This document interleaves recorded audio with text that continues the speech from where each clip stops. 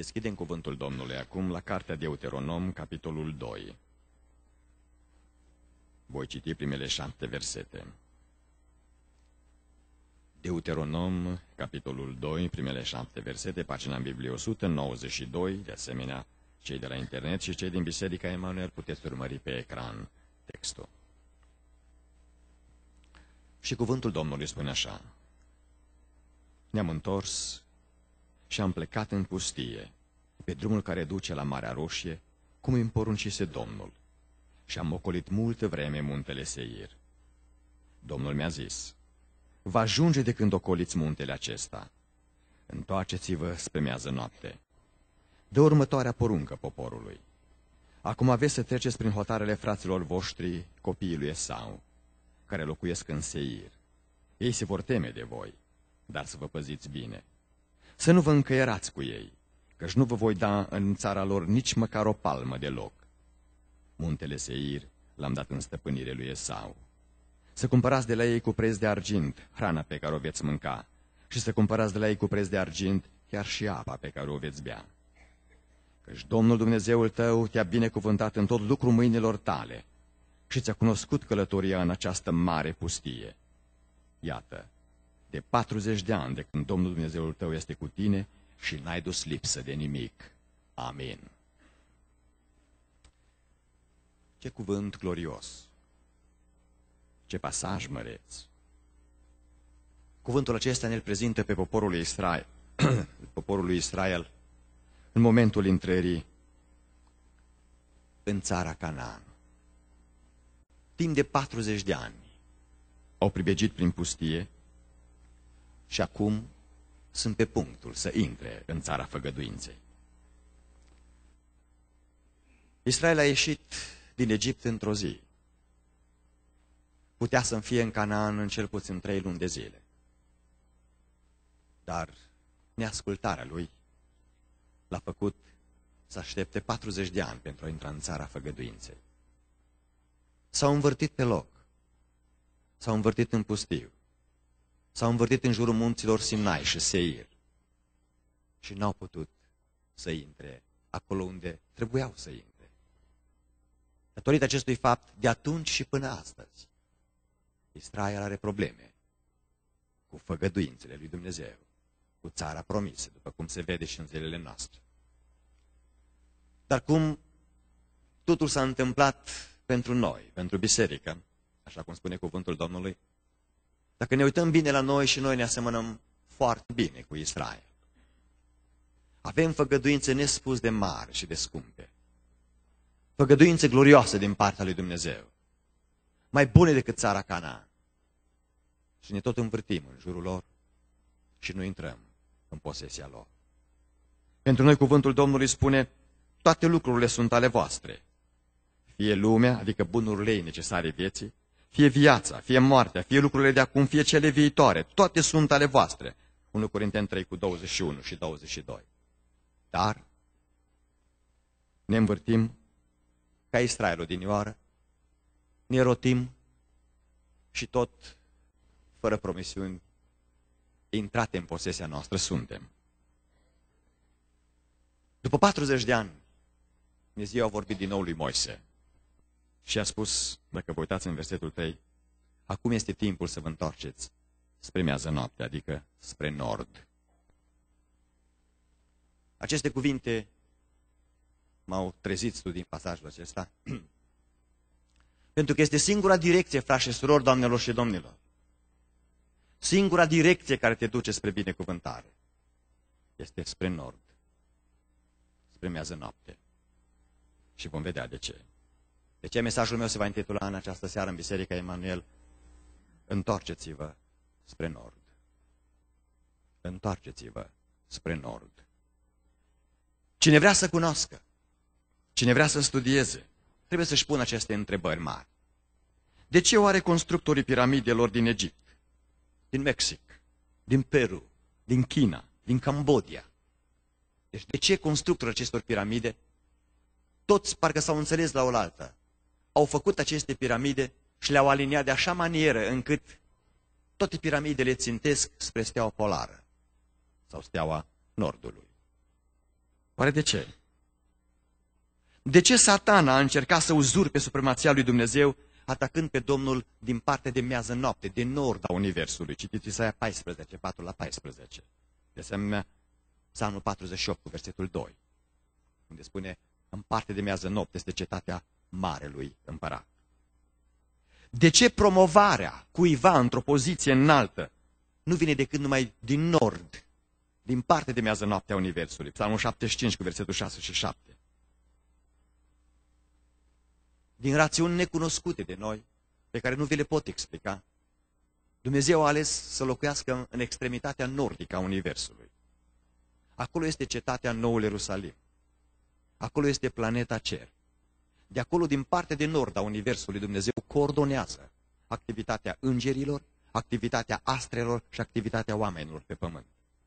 De aceea, acum când după 40 de ani de pribegie, de învârtire fără rost în pustie, Israel se uită la țara promisă, Dumnezeu, observați cum îi spune în versetul 3, este timp acum să vă întoarceți spre mează noapte, spre nord, să priviți spre Dumnezeu. V-ați uitat probabil la Moise, v-ați uitat probabil la Iosua, v-ați uitat la părinții voștri, Avram, Isaac și Iacob. Ei, acum uitați-vă la Domnul. Uitați-vă spre nord. Poate te-ai uitat numai la păstor, te-ai uitat numai la cineva mai mare și n-ai ajuns încă în posesia făgăduinței tale. Seara aceasta te invit, privește spre Domnul, privește spre nord. În primul și în primul rând, deci, spre nord. Deci, spre nord.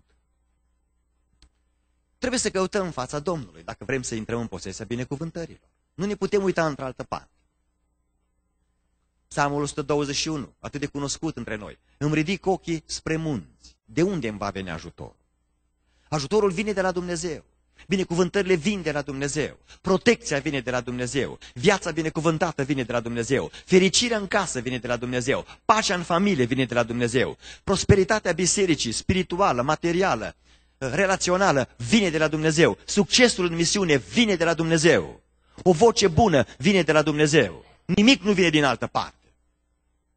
De ce trebuie să ne întoarcem privirea spre El, spre nord, spre mează noapte, spre Domnul, să căutăm bunăvoința Lui, așa cum spune Psalmul 105. Alergați la Domnul și la bunăvoința Lui, pentru că Domnul are binecuvântări pentru noi. Psalmul 146 cu versetul 5. Ferici de cine are ca ajutor pe Dumnezeul lui Iacob. Ferici de cine își pune nădejdea în Domnul Dumnezeul său. Sunt două lucruri care trebuie să ne caracterizeze când privim spre Domnul. Primul este timp să fim hotărâți. Este timp să fim hotărâți, frați și surori, doamnelor și domnilor. Deuteronom, capitolul 2, versetul 2 și 3, partea 1. Domnul mi-a zis, va ajunge de când ocoliți muntele acesta. Dacă de unul din noi, dacă unul din noi dorește cu adevărat binecuvântare, dorește cu adevărat propășire, dorește cu adevărat schimbare în viață, dorește cu adevărat înnoire, în gândire, în atitudine, în trăire, dorește să aibă putere asupra patimilor firii care îl chinuiesc și o chinuiesc mereu. Dacă unul dintre noi dorește cu adevărat să fie o făptură nouă, este timp să fim hotărâți. Trebuie să-ți spui, mi-ajunge. Ajunge cu indecizia, ajunge cu plânsul și mângâierea rănilor, ajunge cu toate amânările. Este timp pentru acțiune clară și practică. Ajunge cu statul pe loc, frați și surori, doamnelor și domnilor. Ajunge cu acuzarea și punerea vinei pe alții. Ajunge cu motivarea de nu face nimic. Trebuie să ne întoarcem să căutăm fața Domnului. Să căutăm nordul. Să căutăm Palatul lui Dumnezeu, să căutăm tronul de îndurare al lui Dumnezeu, despre care, despre care autorul epistolei către evrei spune, și să ne apropiem cu îndrăzneală de tronul Harului. Privește spre Dumnezeu cu îndrăzneală. De ce? Pentru că avem între noi și Dumnezeu un mijlocitor, pe Iisus Hristos, Fiul lui Dumnezeu, Domnul și Dumnezeul nostru, care ne ajută în această rugăciune, ne ajută să câștigăm a vedea fața lui Dumnezeu. Mărit să fie Domnul! Dar este timp de hotărâre. Este timp să fim hotărâți, tineri și tinere familii, părinți, păstori, copii. Indecizia, amânarea și statul pe loc nu te pune în posesia făgăduinței. Te privează de biruință, te privează de binecuvântare. De aceea este timp de a fi hotărât și pe de altă parte este timp pentru ascultare. În cuvântul Domnului, în partea finală, versetul 3 spune, întoarceți-vă spre miază noapte, adică înspre nord, întoarceți-vă spre Dumnezeu, spre făgăduință, în cazul de față spre Canaan. Caută pacea, caută-L pe Domnul, urcă-te pe munte, încrede-te în Dumnezeu. Psalmul 125 cu versetul 1 spune că cei ce se încred în Dumnezeu sunt ca muntele Sionului. Când privești spre Dumnezeu, trebuie să privești spre El după cuvântul lui Dumnezeu. Uitați-vă cu mine în Psalmul 15. Cine se poate urca pe munte? Cine poate ajunge la Dumnezeu? Cine poate sta în prezența Lui ca să caute binecuvântarea Lui? Cine? Cine umblă neprihănire, versetul 2. Cine face voia lui Dumnezeu, partea a doua versetului 2. Cine spune adevărul din inimă, partea finală a versetului 2 din Psalmul 15. Cine nu bârfește, versetul 3, partea 1. Cine nu face rău semenului, versetul 3, partea a doua. Cine nu se scuză, murdărind și acuzând pe semeni, versetul 3, partea finală. Cine nu se asociază cu disprețuitorii, versetul 4. Cine cinstește și sau apreciază pe oamenii temători de Dumnezeu și cu bun simț, partea a doua versetului 4. Cine se ține de principii morale chiar în paguba lui, versetul 4 final. Cine nu asuprește financiar pe semenul său, cine apără cauza dreaptă a semenului, versetele 5 acestui psalm 15. Dacă vrei să stai lângă Dumnezeu, trebuie să lepezi răutatea. Trebuie să îndepărtezi fățărnicie. Trebuie să îndepărtezi amărăciunea. Trebuie să îndepărtezi orice gând de ceartă orice atitudine care dezonorează Biserica lui Dumnezeu, dezonorează umblarea cu Dumnezeu. Întoarce-te spre Domnul. Place așa de mult cuvântul acesta. Ajunge cât ați cât v-ați învârtit. Ajunge cât ați bătut pasul pe loc. Ajunge cât ați râvnit să vedeți binecuvântările Domnului. Și între noi sunt oameni care așteaptă să poată să vorbească cu Dumnezeu să poată să-L vadă pe Dumnezeu, să poată să-L atingă pe Dumnezeu, să poată să comunice cu Dumnezeu, să poată să audă de la Dumnezeu, să poată să aibă o experiență cu Dumnezeu, să poată să fie un plus cu Duhul Sfânt. Nu, nu trebuie să fim numai în stare de dorință, frați și nu trebuie să fim numai în stare de dorință, ci trebuie să fim în stare de experiență. De aceea trebuie să-L căutăm pe Dumnezeu, să ne întoarcem către El cu toată inima și să-L căutăm după metoda Lui. Cu decizie, cu hotărâre. În al doilea rând, când te îndrepti spre Dumnezeu, când cauți nordul, păstrează în atenția ta câteva lucruri. Păstrează în atenția ta câteva lucruri. Care sunt anume? Atenție la avertizările care vin din partea lui Dumnezeu. Versetele 4 la 6. Dă următoarea poruncă poporului. Acum aveți să treceți prin hotarele fraților voștri, copiii lui Esau, care locuiesc în Seir. Ei se vor teme de voi, dar să vă păziți bine să nu vă încăierați cu ei, căci nu vă voi da în țara lor nici măcar o palmă de loc. Muntele Seir l-am dat în stăpânire lui Esau. Să cumpărați de la ei cu preț de argint hrana pe care o veți mânca și să cumpărați de la ei cu preț de argint chiar și apa pe care o veți bea. Trebuie să fim atenți la ceea ce ne spune Dumnezeu. Trebuie să dăm atenție la ceea ce ne spune Dumnezeu. Și observați dumneavoastră că lucrul pe care ne cere Dumnezeu este acesta. Și lumea are parte de binecuvântarea ei. Și noi să nu uităm că locuim în lumea aceasta. Și de aceea trebuie să respectăm pe semeni. Chiar dacă nu cunoaște pe Dumnezeu semenul nostru, trebuie să-l respectăm. Și trebuie să știm un lucru. Dacă semenul tău, care nu-l cunoaște pe Dumnezeu, te urește, în subconștientul lui, vedeți ce spune în acest pasaj, semenul tău se teme de tine. Poartă frică de poporul lui Dumnezeu. Puneți-vă această întrebare. De ce pe vremea comunismului, când trăiam în România, eram credincioși evanghelici, eram cei mai persecutați și mai asupriți în România, în cazul nostru, eram cei mai asupriți și mai persecutați. De ce credeți dumneavoastră că, măcar că eram pacifiști, n-am făcut revoluție, n-am făcut uh, uh, tendințe de a uzurpa guvernul comunist, de ce? Se temeau de ceea ce noi aveam, de Dumnezeul nostru. Se temeau de Dumnezeul nostru. Lucrul acesta îi, îi, îi deranja la culme. V-am spus în alte ocazii și vă aduc aminte de un, de un, de un uh, amănunt. Am fost dus de foarte multe ori la interogări la securitate, datorită predicării Evangheliei. Și în câteva rânduri mi-au spus așa, domnule pastor, nu putem să vă interzicem să nu mai predicați, pentru că este dreptul dumneavoastră și în Constituție vă dăm voie să predicați. Însă vrem să nu mai predicați cum predicați. De exemplu, îmi spunea, predicați despre Dumnezeu cât vreți, pentru că este în Biblie. Să nu predicați despre Isus Hristos. Nu pomeniți numele lui Isus. Se temeau de numele acesta. Pentru că este numele mai presus de orice nume. Este numele în care toată puterea a fost dată în cer și pe pământ și sub pământ. Este numele care controlează toate lucrurile. Și îi paraliza numele acesta. Știa că numele acesta este peste mine și este peste tine, peste cei credincioși. Și de aceea se temeau, aveau frică. În ciuda faptului că persecutau și apăsau și te privau de drepturi elementare, în realitate, în conștiința lor, le era frică, se temeau. Se temeau. Când Ceaușescu a fost arestat, știți că a oprit mai multe mașini care să îl ia bună oră să-l ocrotească. Și la un moment dat, o mașină pe care a oprit-o, i-a văzut pe o pereche, soț, soție, cu fața liniștită, în ciuda faptului că România era în teroare în momentul acela. Și dacă ați citit presa timpului de atunci, Ceaușescu a pus această întrebare. Voi sunteți creștini? Și această pereche a spus, da, suntem credincioși adventiști. În mașina voastră urc. În mașina voastră urc. Pentru că știa că este ceva deosebit cu tine, ceva deosebit cu mine, ceva deosebit cu noi. Avertizarea pe care ne-o face Dumnezeu este aceasta. Respectă-L pe semen. Chiar dacă nu-L cunoaște pe Dumnezeu. El are parte de binecuvântări. Muntele Seir este al Lui, spune aici. Fă business cu El, dar nu face compromisuri cu El.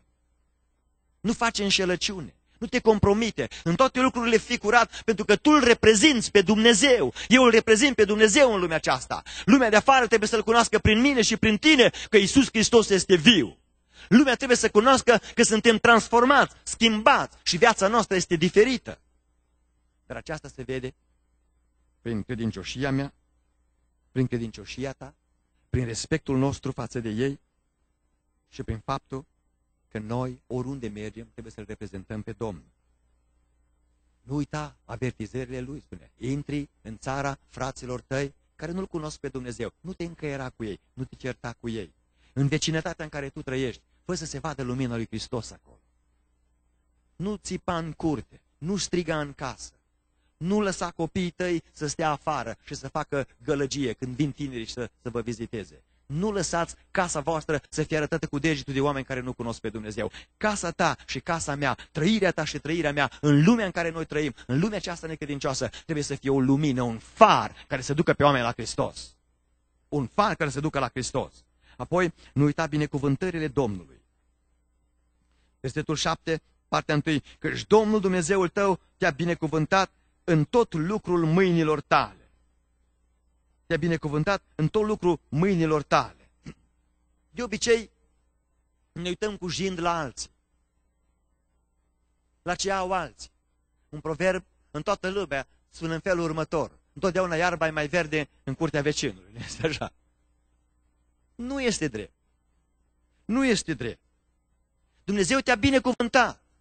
Psalmul 100 3, versetul 2. Binecuvintează suflete pe Domnul și nu uita niciuna din binecuvântările Lui, din binefacerile Lui.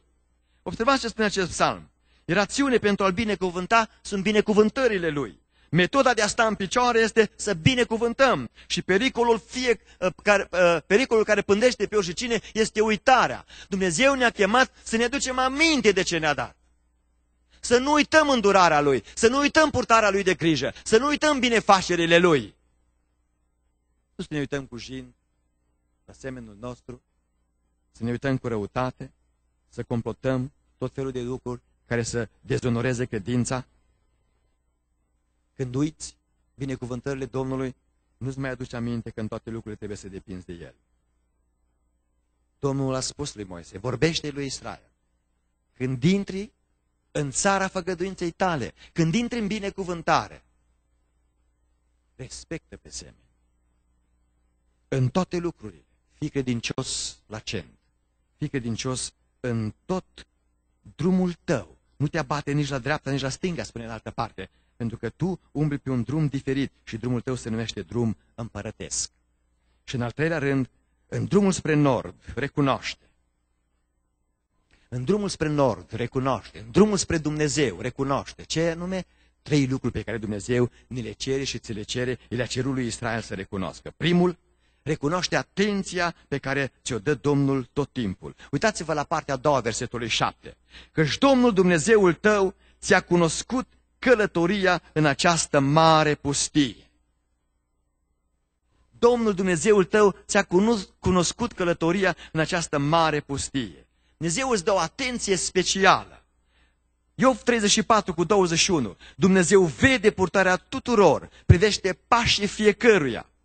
Psalmul 37 cu versetul 23. Domnul întărește pașii omului când îi place calea lui. Psalmul 56 cu versetul 8. Tu numeri pașii vieții mele de pribean.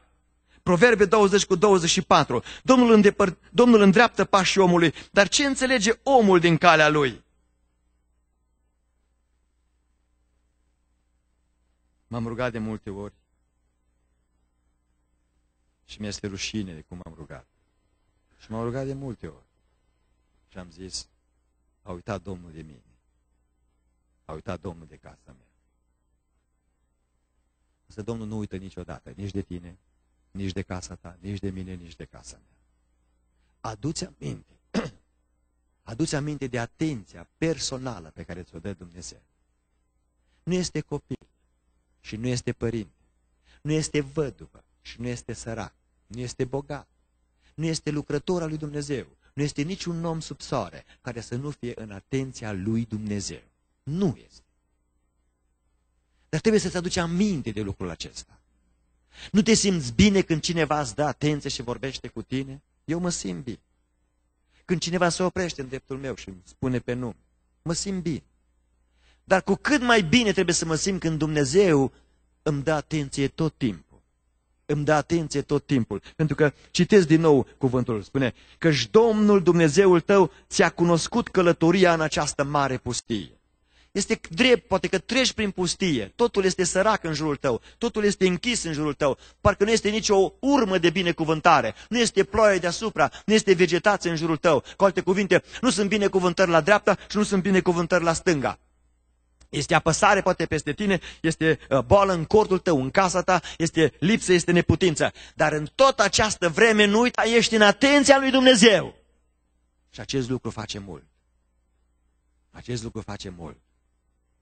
Al doilea lucru pe care trebuie să-l vedem este prezența lui binecuvântată. Nu numai atenția pe care ne-o dă Domnul. Uitați-vă ce spune partea a treia versetului 7 din Deuteronom 2. Iată, de 40 de ani de când Domnul Dumnezeul tău este cu tine.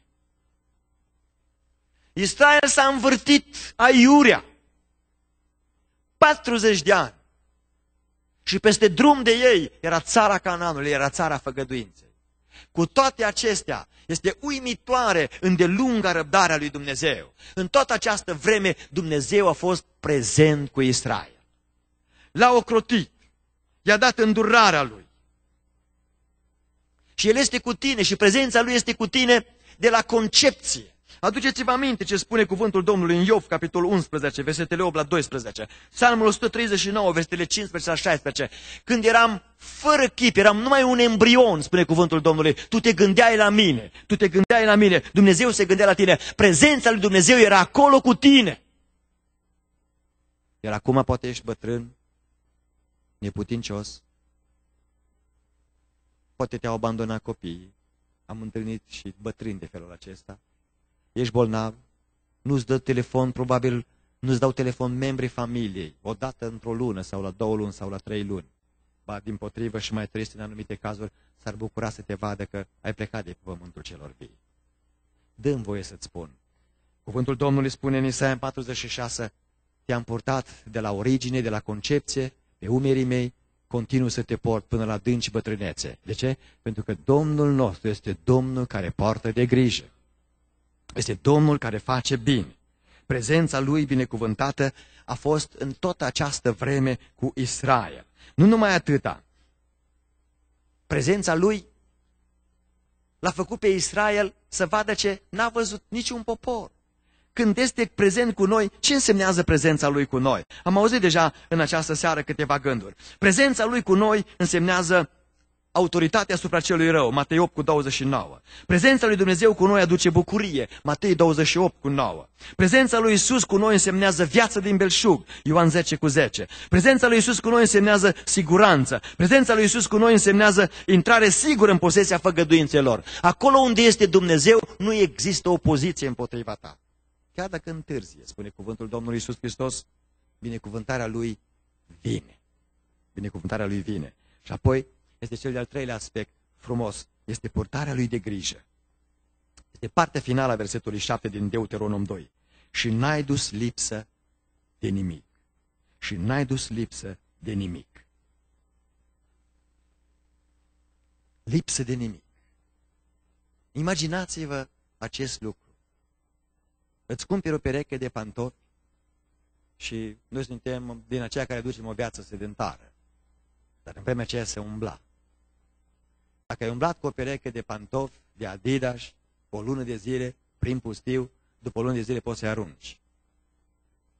Poți să arunci din două motive. Primul rând, după ce te descalți, nimeni nu poate sta lângă tine. În al doilea rând, talpa este spartă, este mâncată.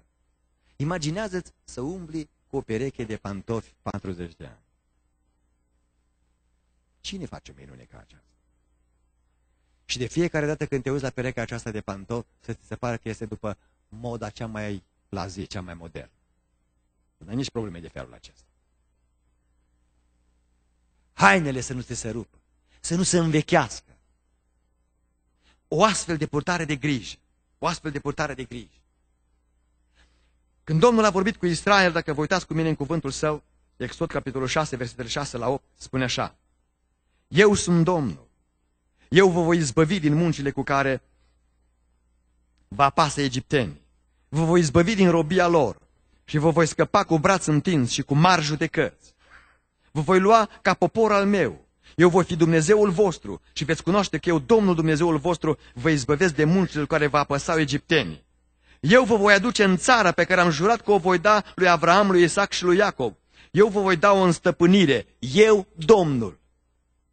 Sunt șapte binecuvântări în această purtare de grijă a lui Dumnezeu. Prima, eliberare. Vă voi izbăvi din robie, versetul 6.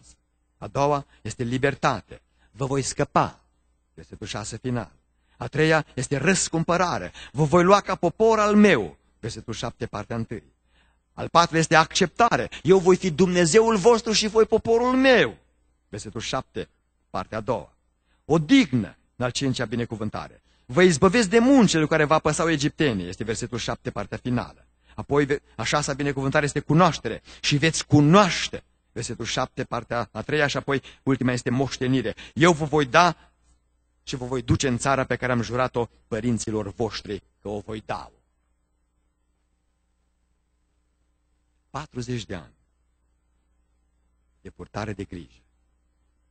40 de ani de umblare cu Dumnezeu. Dar nu numai atâta.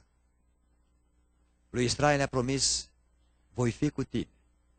Vor veni timpuri când vei fi răspândit în toată lumea din pricina necredinței tale. Dar pentru că am făcut făgăduințe, spune Dumnezeu, îmi voi aduce aminte de cinstea numelui meu și vă voi aduce din nou în țara făgăduinței. Și Dumnezeu a făcut lucrul acesta sub ochii noștri. Suntem acea generație care am putut să vedem această realitate, această făgăduință, promisiune împlinindu-se. În această seară, uite-te la tine însă, nu la Israel. Uite-te la tine. Tu știi câți ani ai și întreabă-te, a fost toată această vreme Dumnezeu cu tine? Pune-te această întrebare.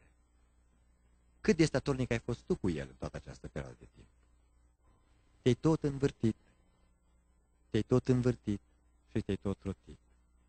În loc să mergi direct spre binecuvântare, direct spre făgăduință, în loc să mergi direct spre nord, spre Dumnezeu, de acolo de unde vine binecuvântarea, de multe ori ne portăm ca niște copii, mergem tot în altă direcție. Tot în altă direcție. Mergem la sud, mergem la est, mergem la vest, dar numai spre nord nu, numai spre Dumnezeu nu. Alergăm la oameni și la ajutorul lor. Alergăm la cei influenți, la cei tari, la cei mari.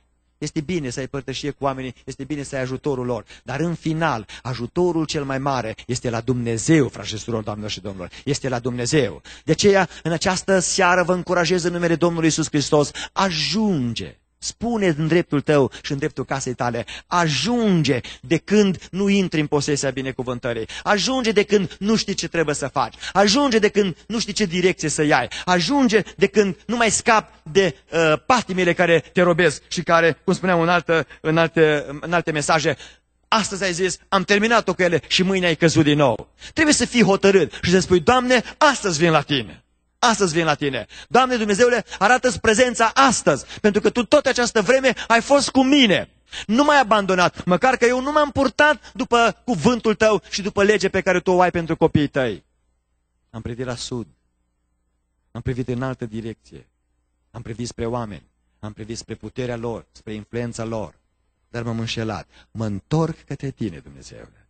Mă întorc spre nord, mă întorc spre Domnul. Îmi ridic ochii spre munți. De unde îmi va veni ajutorul? Ajutorul vine de la Domnul care a făcut cerurile și pământul.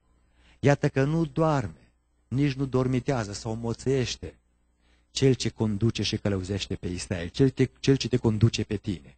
Dumnezeu este treaz ca să te urmărească, să mă urmărească, nu să te pedepsească, să te ridice, să te binecuvânteze, să-ți îndrepte pașe. Și în toată această vreme, mâna Lui a fost cu tine, este peste tine, în toată umblarea ta, prezența lui Dumnezeu a fost o prezență reală. Asaf a spus așa, era gata să cad. M-am uitat la cei răi, m-am uitat cât de bine le merge și n-au nicio treabă cu Dumnezeu, n-au nicio legătură cu Dumnezeu.